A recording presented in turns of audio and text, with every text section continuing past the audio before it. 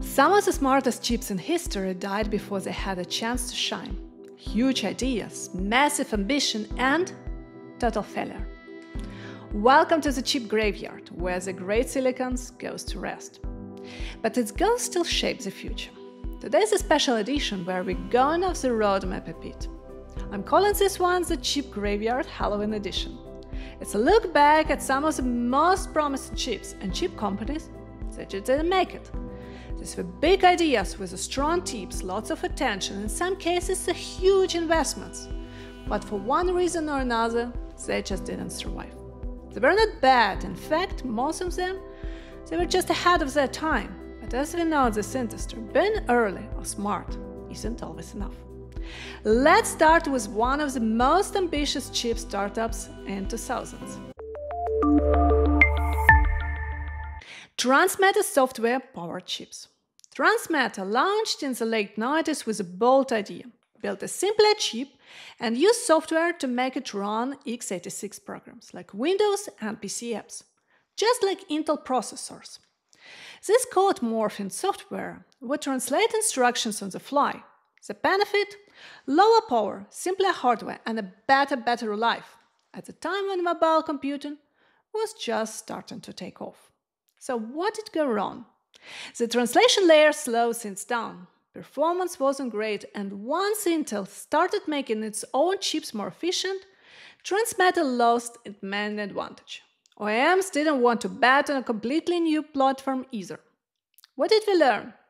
A smart ideas needs more than just a vision. You also need performance, timing, and the support from the ecosystem. Transmeta has the innovation, but not the follow through. Next one is Intel Itanium, a new POS that never took off. Next one is Itanium, Intel's big push in 64-bit computing. In early 2000s, it was built on a new architecture called IA64, a completely different from x86. The new concept was EPIC, where the software helps the chip run instructions in parallel. This required new tools, new compilers, and a whole new way of writing software. Why did it fail? The compilers couldn't keep up. The software needed fully unlock Itanium's power never materialized. Meanwhile, AMD introduced x86-64, which kept compatibility with existing software, but added 64-bit support. That version took off. Eventually, even Intel gave up on Itanium. The takeaway? If you try to reinvent the whole stack, hardware and software, you need the ecosystem behind you. Otherwise, even a giant like Intel can miss. Next one, Zilog Z8000, overshadowed by history.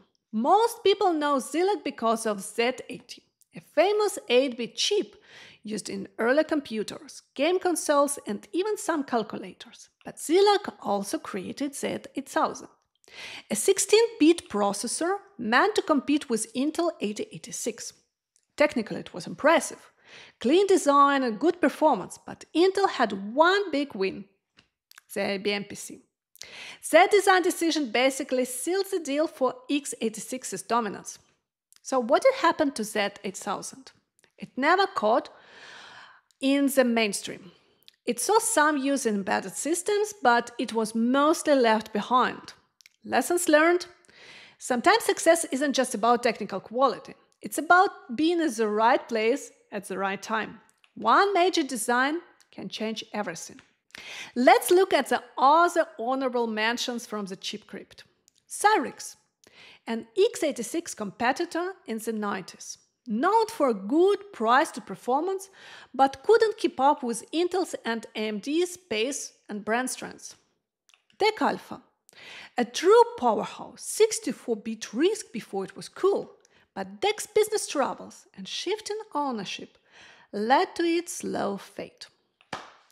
Sun SPARC, once a leader in enterprise servers, but as x86 took over and the cloud changed everything, SPARC couldn't keep its foothold.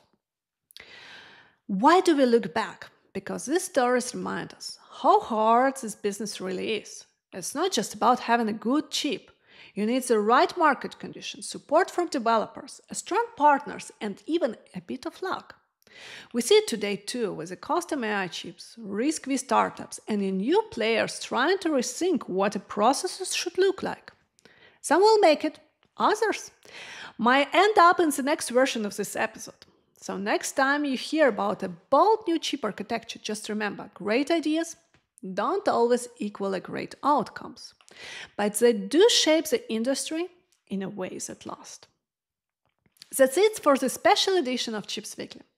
Thanks for joining me on this short trip through the silicon history. I'll be back next week with your regular dose of chip news, our chip of the week, and one insight you won't want to miss. Until then, I'm Diana, and remember, in semiconductors, even the ghosts have something to teach us. Thanks for listening to Chips Weekly by Diana. See you next time.